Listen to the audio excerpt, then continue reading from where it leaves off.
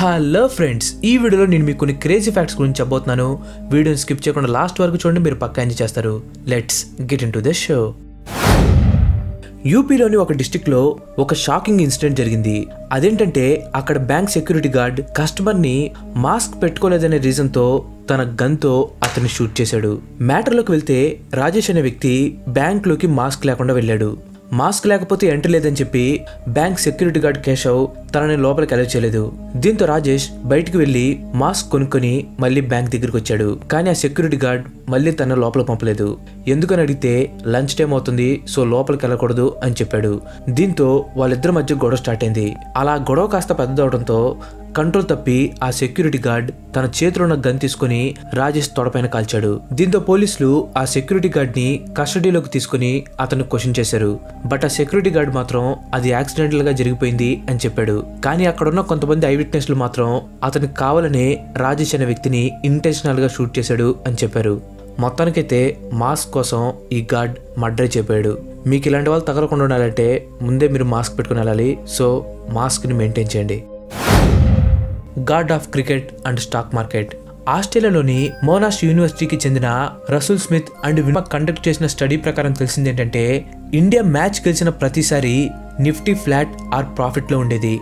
And అలాగే Sachin flop అయి India ఓడిపోయిన ప్రతిసారి నెఫ్టీ లాస్లోకి వెళ్ళిపోయేది. ఇంకా సచిన్ రిటైర్ అయినప్పుడైతే స్టాక్స్ అన్నీ చాలా డౌన్ అయిపోయాయి. ఆ టైంలో సచిన్ క్రేజ్ అలా ఉండేది మరి. స్టాక్స్ అంటే గుర్తొచ్చింది. ఫ్రెండ్స్ మనలో చాలా మందికి సక్సెస్ అవ్వాలని కోరుకుంటుంది. అత్యంత సక్సెస్ఫుల్ పర్సన్గా పేరు తెచ్చుకున్న వారన్ బఫెట్ రాకేష్ జుంజున్వాలా కూడా సక్సెస్ అవ్వాలనే కోరికతో స్టాక్ మార్కెట్లోకి ఎంటర్ అయ్యి ఇప్పుడు వేల కోట్లను సంపాదించారు. మీకు తెలుసా ఇండియన్ స్టాక్ మార్కెట్ కింగ్ అయిన రాకేష్ జుంజున్వాలా మొదటి ఇన్వెస్ట్మెంట్ చేసింది కేవలం ఐదు వేల రూపాయలు మాత్రమే. అలా ఐదు వేల రూపాయలతో ఇన్వెస్ట్మెంట్ స్టార్ట్ చేసి ఇప్పుడు ఇరవై ఒక్క వేల కోట్లను సంపాదించారు. వీళ్ళు చేసిందల్లా మంచి క్వాలిటీ ఉన్న బిజినెస్లో ఇన్వెస్ట్మెంట్ చేయడమే. ఉదాహరణకి టైటాన్ కంపెనీలో రాకేష్ జుంజున్వాలా మూడు రూపాయలు పెట్టి ఆరు కోట్ల షేర్లను కొన్నారు. ఇప్పుడు టైటాన్ షేర్ వాల్యూ ఎంత తెలుసా? పదహారు వందల యాభై రూపాయల పై మాటే ఇలా మీరు కష్టపడి సంపాదించిన డబ్బుని తెలివిగా ఇన్వెస్ట్మెంట్ చేయడం ద్వారా మరింత లాభాన్ని పొందొచ్చు. మీరు స్టాక్ మార్కెట్లో ఇన్వెస్ట్మెంట్ చేయాలంటే మీకు డిమెట్ అకౌంట్ తప్పనిసరిగా ఉండాలి. కింద ఇచ్చిన లింక్ మీద క్లిక్ చేసి మీరు ఒక్క రూపాయి కూడా పే చేయకుండా ఫ్రీగా ఏంజల్ బ్రోకింగ్లో కేవలం పదే పది నిమిషాల్లో డిమెట్ అకౌంట్ని ఓపెన్ చేసుకోవచ్చు. ఇప్పుడు ఫ్రీగా ఇస్తున్నారు కాబట్టి అకౌంట్ ఓపెన్ చేసి పెట్టుకోండి. ఎప్పటికైనా మీకు యూజ్ అవుతుంది. అంతేకాదు మన డిస్క్రిప్షన్లో ఇచ్చిన లింక్ మీద క్లిక్ చేసి అకౌంట్ ఓపెన్ చేసుకున్న వాళ్ళకి హండ్రెడ్ రూపీస్ క్యాష్ బ్యాక్ అనేది నెక్స్ట్ మంత్ ఫిఫ్టీన్త్ లోపు క్రెడిట్ అవుతుంది. కాబట్టి అవకాశాన్ని అందరూ యూజ్ చేసుకోండి. అకౌంట్ ఓపెనింగ్ క్యాష్ బ్యాక్ పొందాలనుకున్న వారందరూ అకౌంట్ ఓపెనింగ్ కంప్లీట్ అయిన స్క్రీన్ షాట్తో పాటు మీ నేమ్ అండ్ మొబైల్ నెంబర్ని కింద డిస్క్రిప్షన్లో ఇచ్చిన మొబైల్ నెంబర్కి మెసేజ్ చేయండి. అండ్ ఇంకొక మెయిన్ థింగ్ స్టాక్ మార్కెట్ పైన బాగా అవగాహన తెచ్చుకున్న తర్వాతే మీరు ఇన్వెస్ట్మెంట్ అనేది స్టార్ట్ చేయండి. యోగా అనేది వర్కౌట్స్లో చాలా అంటే చాలా పాపులర్. యోగా వల్ల మనకి చాలా హెల్త్ బెనిఫిట్స్ ఉన్నాయి. మీ మజిల్ స్ట్రెంగ్త్ ఇంక్రీజ్ అవుతుంది. మీరు బాగా ఫ్లెక్సిబుల్గా కూడా అవుతారు. వీటన్నిటితో పాటు మీకు యోగాలో చెప్పని ఇంకో లాభం కూడా ఉంది. అదేంటంటే మీరు జైలు నుంచి తప్పించుకోవడం.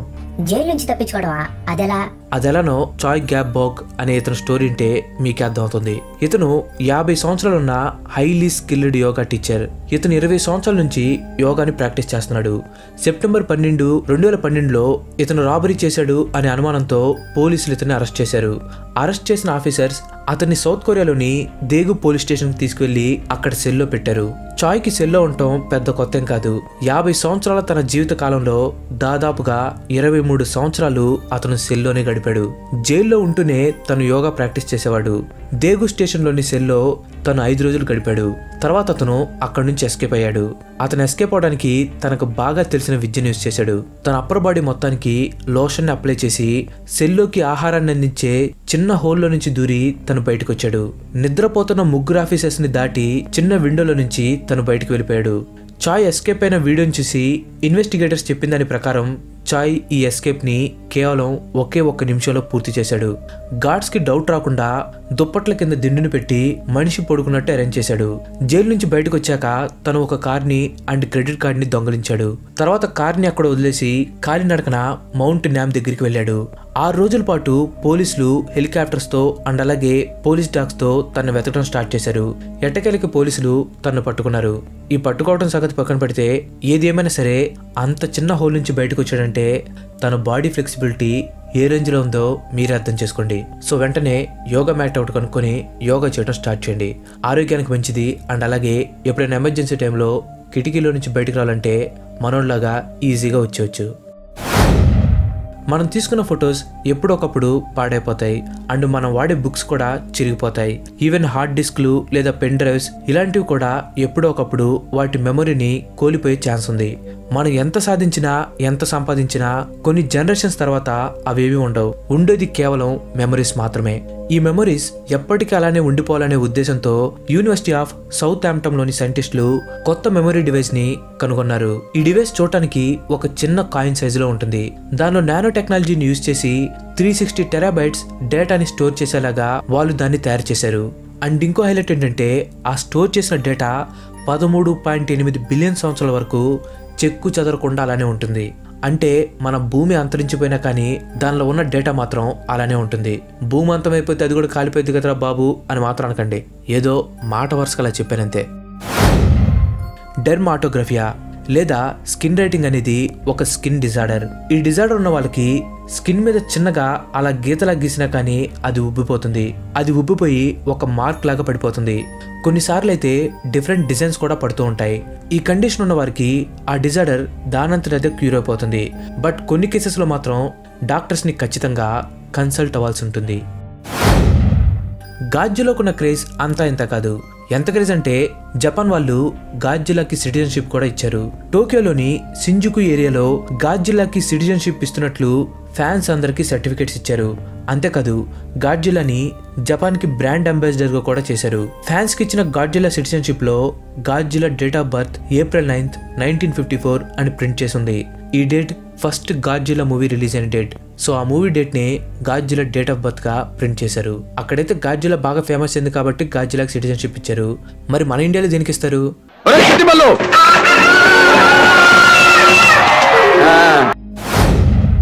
Strange man in dreams. ఈ ఫేస్ చూసారా ఇతను ఎప్పుడైనా మీ డ్రీమ్స్లోకి వచ్చాడా? సరిగ్గా చూడండి. ఫ్యూచర్లో మీ డ్రీమ్స్లో ఇతను వచ్చే అవకాశాలు చాలా ఎక్కువ ఉన్నాయి ఎందుకంటే ప్రపంచం మొత్తంలో దాదాపుగా రెండు వేల మంది ఇతన్ని తన డ్రీమ్స్లో చూసినట్టు చెప్పారు. ఇతను తమ డ్రీమ్స్లోకి వచ్చి తమ ఫ్యూచర్ గురించి మెసేజెస్ అండ్ ఇంకా వార్నింగ్స్ కూడా ఇచ్చినట్లు వాళ్ళు తెలిపారు. సో బాగా చూడండి ఇతని ఫేస్ గుర్తుపెట్టుకోండి. ఇన్ కేస్ ఫ్యూచర్లో ఎప్పుడైనా సరే ఇతను మీ కల్లోకి వచ్చి మీ ఫ్యూచర్ గురించి చెప్తే ఖచ్చితంగా ఈ వీడియో కింద ఒక కామెంట్ చేసి వెళ్ళండి.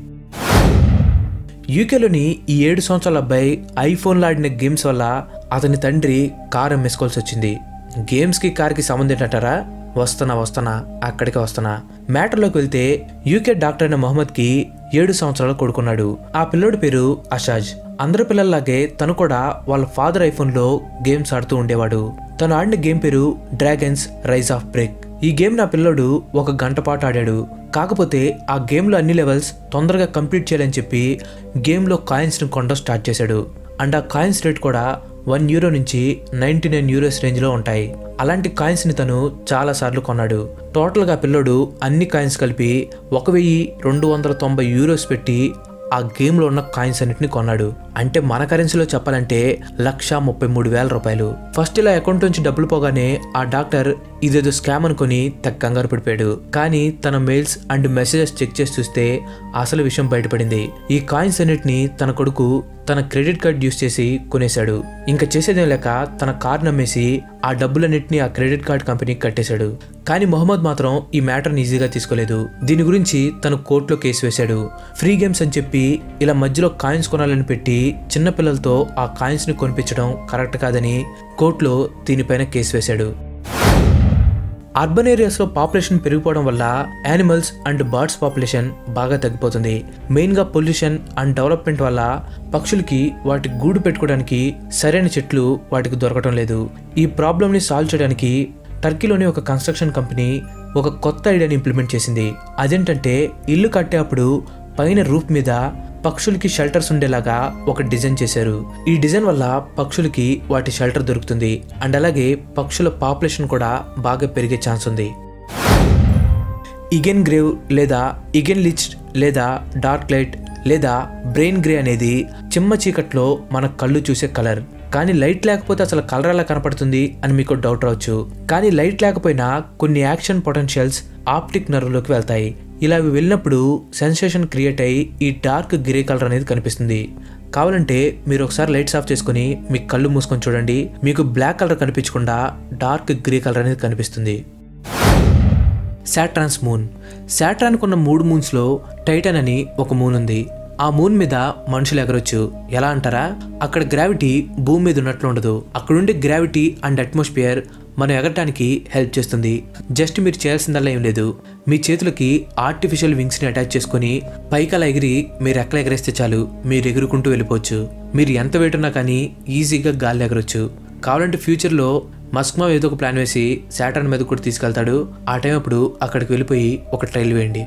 లాస్ట్ వ్యాక్లోకి వెళ్ళే ముందు మీరు మన ఛానల్కి ఇంతవరకు సబ్స్క్రైబ్ అవ్వనట్లయితే మన ఛానల్కి తప్పకుండా సబ్స్క్రైబ్ అవ్వండి. అండ్ అలాగే పక్కనే ఉన్న గంటను కూడా యాక్టివేట్ చేసేయండి. ఆల్రెడీ సబ్స్క్రైబ్ చేసుకున్న వారికి చాలా చాలా థ్యాంక్స్ ఇరాక్లో గవర్నమెంట్కి అగనెస్ట్గా ఒక ప్రొటెస్ట్ జరుగుతుంది. పోలీసులు జనాల్ని కంట్రోల్ చేయడానికి పోలీస్ డాగ్స్ని యూజ్ చేయడం స్టార్ట్ చేశారు. ఇది చూసి ప్రొటెస్ట్ చేస్తున్న ఒక అతనికి బాగా కోపం వచ్చింది. అయితే గీతే పోలీసుల మీదకు రావాలి కానీ కుక్కల మీదకు పంపడం ఏంటి అని బాగా కోపం వచ్చేసింది. దీంతో తను అక్కడి నుంచి వెళ్ళిపోయి ఒక జంతువుకి ఇరాన్ ఫ్లాగ్ కట్టించి తన వెంట తీసుకొచ్చాడు. ఆ జంతువు ఏంటో తెలుసా? సింహం. ఎస్ మీరు వింద కరెక్టే. సింహానికి ఇలా ఇరాన్ ఫ్లాగ్ చుట్టి రోడ్డు మీదకి తీసుకుని వచ్చి వదిలేశాడు. దెబ్బతో కుక్కలో పరార్ పోలీసులు పరార్ అండ్ అక్కడ ప్రొటెస్ట్ చేస్తున్న వాళ్ళు కూడా పరారైపోయారు. కానీ మన సింహరాజు మాత్రం సైలెంట్గా వెళ్ళిపోయి ఒక రోడ్డు పక్కన రెస్ట్ తీసుకున్నాడు. థ్యాంక్స్ ఫర్ వాచింగ్ ఈ వీడియో కనుక మీకు నచ్చినట్టయితే లైక్ చేయండి షేర్ చేయండి అండ్ అలాగే నేను నెక్స్ట్ ఎపిసోడ్ మిస్ కావద్దు అనుకుంటే నా ఛానల్కి తప్పకుండా సబ్స్క్రైబ్ అవ్వండి. ఇంకో మంచి ఎపిసోడ్తో మళ్ళీ కలుద్దాం. Till then bye bye have next day